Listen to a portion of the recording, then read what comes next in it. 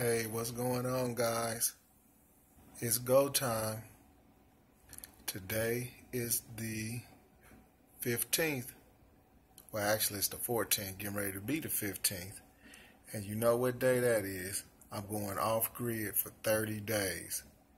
Right now, we're looking at the batteries. They are 55.4 volts and uh, we're currently pulling about three to four amps out of the battery bank right now. Let's go through.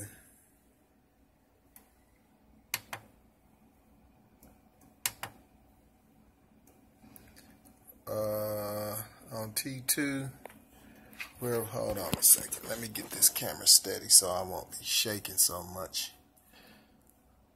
T2, we pulling 150 watts. On one, we pull in 82 watts, 4%.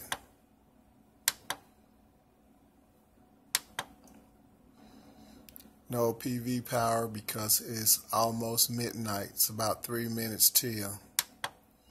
So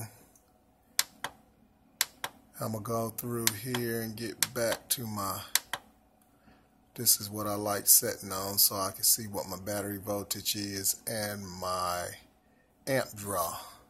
So let's get down to business, guys. See that little symbol right there? That means that the grid is on. So let me mosey over here and turn it off. Hold on just a second. Okay, we back symbols gone, which means we are no longer on the grid. We were already running on the batteries, but we won't have any grid backup. I'm going to try to go 30 days with no grid backup, just running off the solar, the batteries, and the 5048 here. So let's go around and check on the batteries and then I'm going to call it a night. Alright, hold on just a second. Okay guys, we back. Here we go. We got the state of charge. It was 55.4 I believe. 85% is where we was earlier today we was at um, 57.3 which was 95% uh, I, I started only charging up to 95 I don't go to 100 so I, I um, start off at 95 and I end at 40.7 which 40.7 is 5.8 volts 2.9 volts per cell, 5.8 volts per module. So once I get to 40.7, I'll call that zero. So right now we're at 85%. And uh, let's get started. Let's check these batteries out.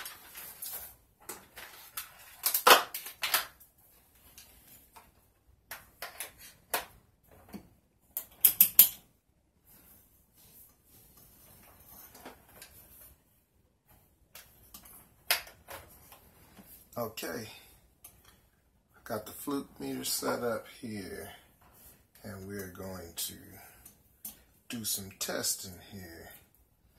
Okay, what we got right here, 7.99, 7.99, 7.99, seven point nine nine. Seven point nine nine.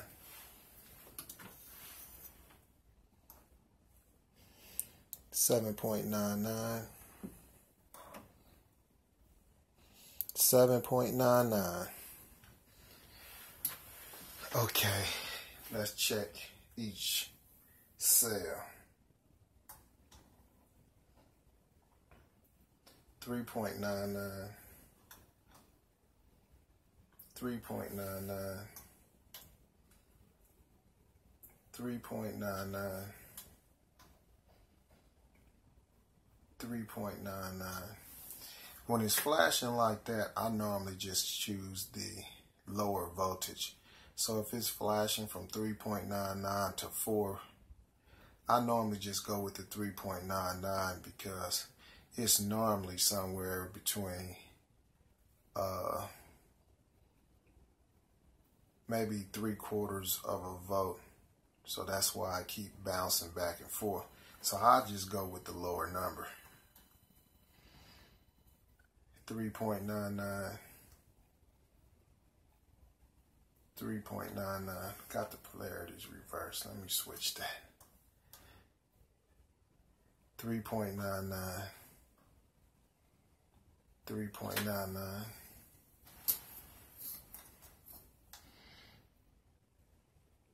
Now that's 4. 3.99, Nah, that looks like 4 to me. The 2.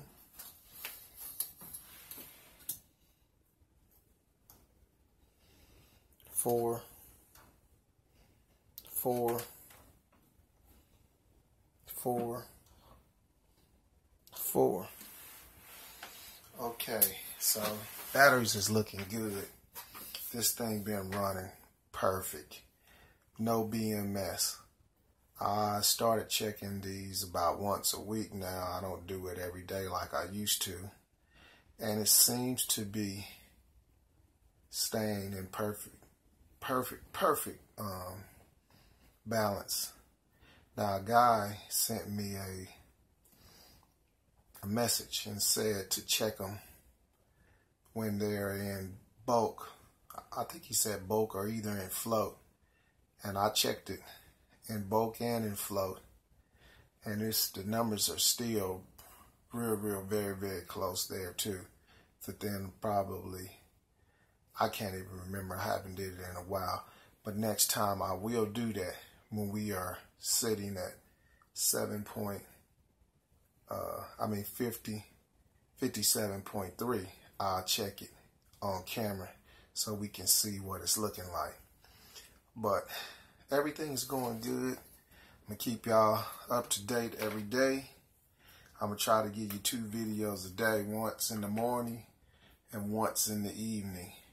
So you can see what it's looking like in the morning and you can see what it's looking like in the evening. Maybe sometime I'll check it in the afternoon when the batteries is fully charged. Hopefully we don't get any storms or anything to um, stop me from charging where I have to go back on grid. But and God asked me what what did I have this light in here for? This is for crappie fishing.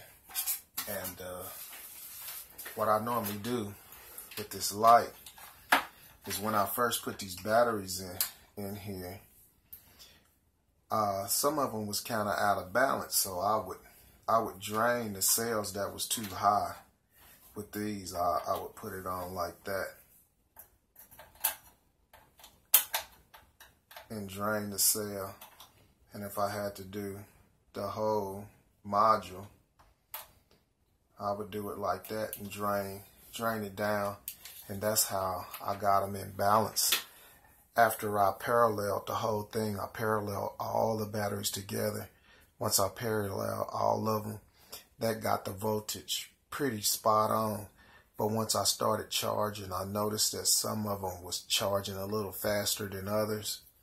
So what I did was I took this light and I would put it on that that battery that was charging the fastest and I would take some of the voltage out of it so they will all charge up equally. And once I got got them in balance I haven't had any more problems. But that's gonna be it for tonight. Uh, I'll try to get you something uh, I'll shoot it in the morning and try to upload it once I get to work. So thanks for watching. Have a good night